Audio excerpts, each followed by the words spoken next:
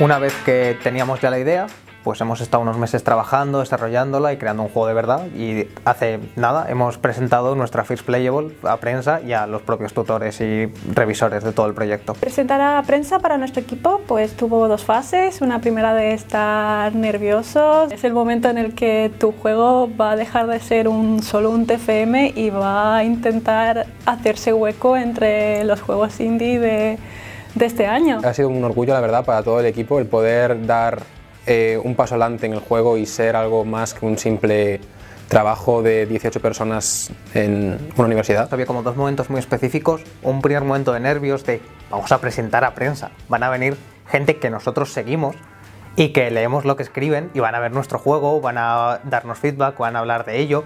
Y luego ya ocurre creo que la segunda, que es como más la parte de emoción, que es un momento en el que estamos todos trabajando y de repente alguien dice, ha salido la noticia. Estábamos como locos eh, pues haciendo bromas o, ah, mira, aquí estoy yo, la imagen, ah, qué guay, eh, pasándoselo a mis padres, seguro que todo el mundo se lo, se lo pasó a su familia. Muy bonito ver cómo la gente que juega tu juego disfrutaba, veía que realmente estábamos viendo lo que queríamos validar y se validaba que la gente veía tu juego, lo entendía y le gustaba. Hemos descubierto nuevas formas de, de información que tenemos que dar a los jugadores pero ante todo hemos conseguido descubrir que funciona y que a la gente le gusta. Vimos cómo jugaba la gente a nuestro juego y eso nos dio nuevas ideas. Al final ese, ese feedback eh, es muy bueno porque nos nutre, nutre nuestro equipo, nutre nuestro juego. Lo principal del juego no se va a cambiar. Creo que con el feedback que nos han dado tanto los revisores como los propios eh, alumnos de la universidad, hemos dado con el clavo para mm, dejar el juego ya hecho y rematarlo